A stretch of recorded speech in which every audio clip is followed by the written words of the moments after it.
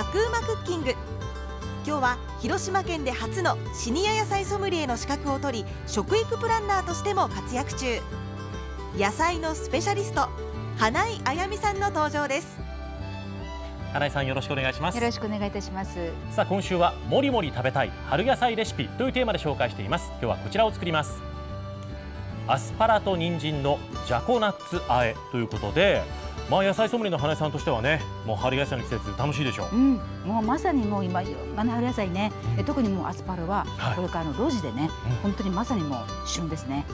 一番美味しくなります、はいえ今日はですねこちらをフライパン一つで簡単に作りますのでぜひ覚えてください、はい、それでは早速クッキングスタートです、はい、じゃあまずねアスパラね今日はねちょっとね細めを用意しましたよ。いろいろありますよねそうそうそう。でね細い方がやっぱり美味しいので、うん、でこちらの方ね。そうなんですか？細い方が美味しいんですか、うん、やっぱりこうねまだこう若いじゃないですか、うん、でこう柔らかいので。なるほどね。まあでもねそのこうお店ってなかなか選べないので、まあ太いのも美味しいということでね。なるほど。はい、でこちらの方ねはい、ですね。でまずねとここがあの皮が少し硬いので、はい、こちらのピーラーでね、はい、あの剥いていきますね。根元四分の一ぐらいのところですね。すねはい。はい。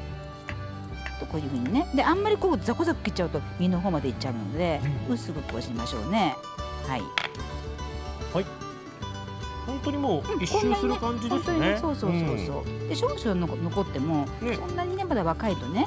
見た目にもそんな細さは変わらないですね。そうそうそうそう。はい、行きましたよ。はい。はいこちらをですね斜め切りにしていくんですけれども。はい、はい、でアスパラってねとってもねあの足が速いってあの要は鮮度がどんどんあの落ちちゃうので、もう買ったらもうその日のうちに食べるぐらいの勢いでねお使い。そうなんですか、うん、やっぱり水分でしょ？野菜の美味しさはね、うん、で水分がとってもこれ今度ももうねすごいです水分がね。確かにこの辺みずみずしいですよね。そうそうそう。これがどんどん抜けちゃうので、うん、もう買ったらすぐでよく言われるのがねあの、はい、お鍋を畑に持っていけというぐらい。畑に持っていけ。そうそうそれぐらい早く食べろということですね。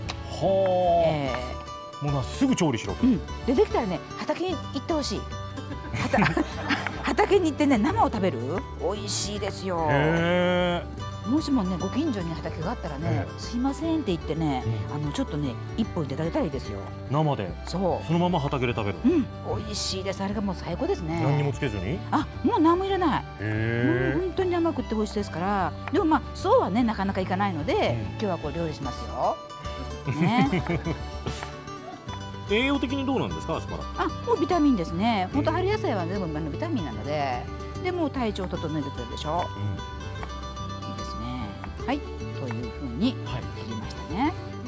なので太めのアスパラだったら今日はちょっとこのぐらいの細めの大きさにした方がいいですね。一回縦に切って、一回縦に切ってですね、うん、そうですね。はい。はいで次人参。人参もこれね、あの春人参ですね。水分高いね人参ですよ、で今日はねあのアスパラが主役なので、この人参はねこうアスパラにこう沿わせてやりたいんです、だからなるだけね細く切る、で細く切るのに時間かかるから、今日はねこちらで使いました。こういうふうにねじゃこじゃこ。スライサー。スライサーね。じゃこじゃこ。ですね。これ。あれさんこれじゃこじゃこって呼んでるんですか？そうそうじゃこじゃこです。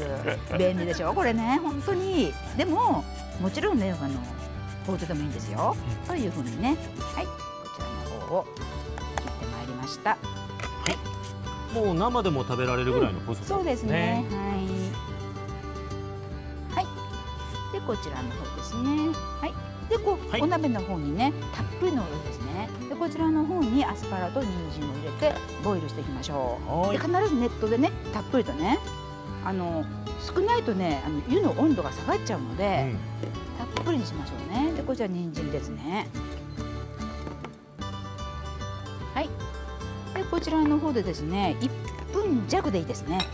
1分弱？短いですね、うん、そうそうそう。で新鮮ですから、うん、もう水分高いのでもうあの短時間でも湯上がりますのでね。ああでも、はい、この彩りいいですね。アスパラと人参ってね、はい、すごく綺麗。でしょ？でこれをねあの湯がきすぎちゃうとね、うん、せっかくの鮮度がねふたっとなっちゃうので、うん、はい。ぼちぼちですかね。どうかしらどうかしらもう少しかしらですかね。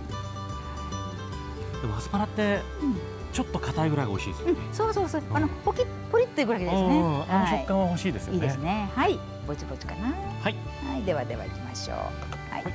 でねこちらの方ね今1分弱なんですね。はい。でこちらの方にこうざるにあげますでしょでざるにあげてもまだここにね余熱が残ってますので、でこのフライパンの中でしっかり火が通っちゃうと弱くすぎになりますんでね。この余熱を利用しましょう。ん。はい。これまだね湯気が出るような状態う、うん、ですそうですねそうです、はい。これじゃあしっかり水をを切って。はい置いときましょうね。はい。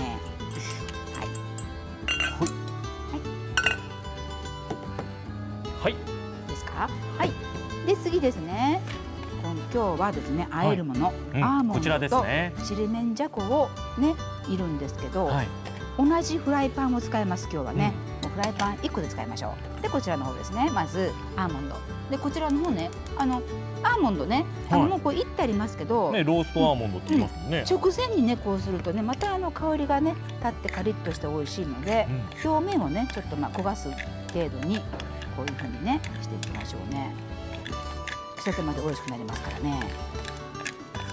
でもう中ねあの一度火は通ってますので、はい。表面だけちょっとカリッとさせればねいいと思いますね。これで香りが立つんですね。そうですね。はいこれでいいかな。うん。でこちらの方をあとねこれ刻んでまいりますのでね。はい。はい。で次ですね。はい。これもね初の新物ですね。うん。ちりめんじゃこですね。でこちらの方もちょっとねあの一度こう一旦いるとまた香りが立ちますでしょはい。でこちらちょっと青山さんねいいですはいかね、お任せください。うん、こちらの方ちょっと。普通にいっていけばいいですね。あいいですよ、でもね香りが立てばもういいですからね。焦がさない程度ですね。はい。はい、で私はこちらの方をね食べやすい大きさにみじんにしますね。アーモンドみじん切り。そうですね。でこちらの方もあのちょっとこう歯ごたえが残るぐらいのみじんにしますね。あ本当ですね。粗いですね。うん。これもポリポリしてとっても美味しいのでで今日はねアスパラも人参もじゃこもであと使うレモンも全部広島産。お地産地消そう。でこのアーモンドもついでにね広島産ならね良かったんですけどね。どなたかアーモンドを作ってくださらないでしょうか？はい。こちらでねザクザクといきますね。どうですか？あちりめんどうですかぼちぼちかな。あのもうね香り立ちましたね。香り立ちました。はい、OK です。海の香りがしております。はい大丈夫です。はい。じゃあこちらの方もねできましたのでね。これお皿出しておきますね。はいどうぞどうぞ。こちらも。はいこれくらいでいいですね。はい。じゃあこちらもね。はい。はいできました。はい、はい。さあ準備が整いましたのでいよいよあえていきます。今日の調味ですね、まずあのオリーブオイルですね、はい。大さじ4味音で広島産のレモンの果汁ですね、はい。大さじ1はい。それからお醤油が今日は小さじ2使いますね、はい。でこちらの方にえー、と先ほどのこの茹でですね。もうぼちぼち、ね、こっち混ぜなくてこのまま入れていいんです大丈夫大丈夫。はい、粗熱を取ったぐらいでいいんはい、ですね。いいですよ。はい。はい。でこちらの方混ぜてまいりましょうね。でそれから先ほどのねアーモンドと、はいそれからジャコを入れてみましょうか。はいもう入れていいですか？うんいいですよ。はい。はいでもうできちゃってて香りを出したアーモはンドじゃこが入りましたい。でやはりねあの食材にねうん勢いがあるとそんなに凝ったことをしなくてもねもう美味しいから今日はこれだけ。あの食材に勢いがあるっていうのはどういう状態なんですか？初耳なんですけどあそうですか？言いません？だから食材に勢いがある魚でもうん生きた魚ってピチピチしてますでしょ？あ野菜も一緒。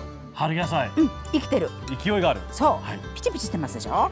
はい。なのでシンプルな調理法になそうるんですね。でね、私ね、さっきね、これいいこと聞きました。これをね、あの炊き上が炊き上がったご飯にうんうん刻み込んでもね、うん美味しいってね、さっきね、リハの後ね、食堂に行ったんですよ、局の。うんそこでね、おばちゃんがね、言ってました。えこの料理をですか？うん、これね、あ、これあなた刻み込んでも美味しいよねってご飯に。あこれを実際に食べた RCC の地下そうそう、あ、あの近い方ですね、これをね。うんううん。ん。絶対美味しいよっておっしゃったんで、ちょっと今日はそれをお伝えしておこうと思って。あ混ぜご飯でもじゃあいいかもしれうん、ない。いいですね。はい、はい。できました。はい。こちらでアスパラと人参のジャコナッツ和え完成です。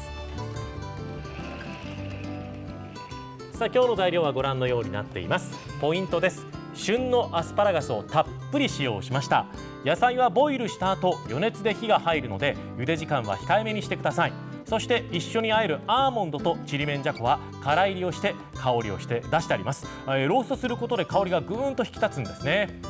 簡単にフライパン一つでさっと作れます。アスパラと人参のジャコナッツ和え。ぜひ我が家のレパートリーに加えてみてください。